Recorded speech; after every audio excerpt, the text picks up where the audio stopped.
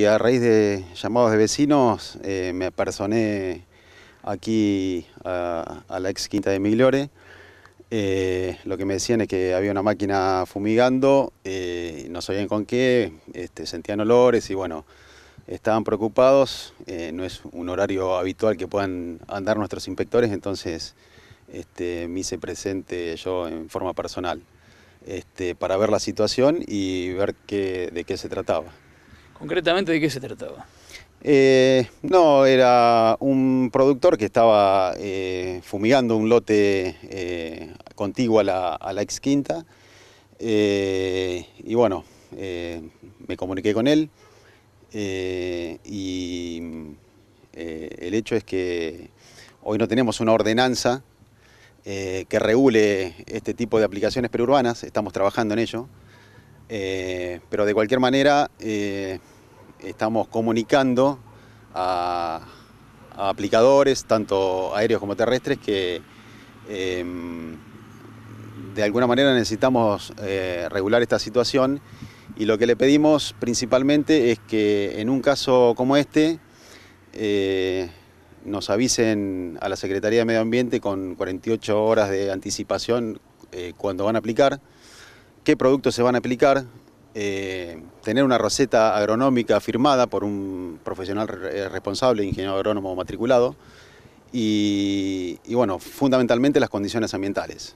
Eh, más allá de que hoy tenemos buenas condiciones para aplicar, realmente los otros requisitos no, se habían cumplido y por eso este, el apersonamiento mío acá y, comunicarme con el, con el aplicador. ¿no? Estamos hablando de un prestador de, este servicio reincidente en la cuestión.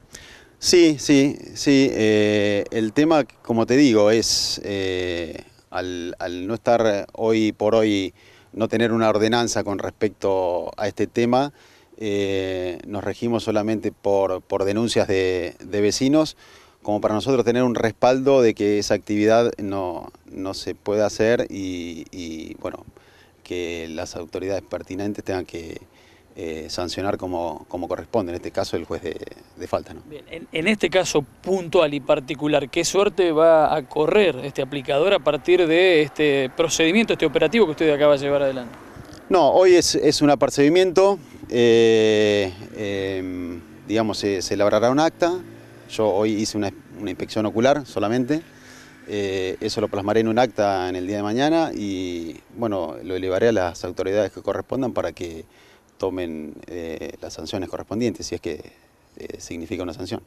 Para cerrar, en este caso llegó al lugar alertado, advertido por los vecinos frente a este lote. Sí, en realidad dependemos mucho de eso porque es, el respaldo nuestro también, ¿no? Este, la, denuncia, la denuncia del vecino ante este tipo de actividad que eh, por ahí eh, tiene una, una este, es una actividad que eh, se hace en, una forma muy rápida y si este, no tenemos la denuncia del vecino, el, inspector ambiental es muy difícil que, se pueda este, apersonar en el instante que se está haciendo el, hecho.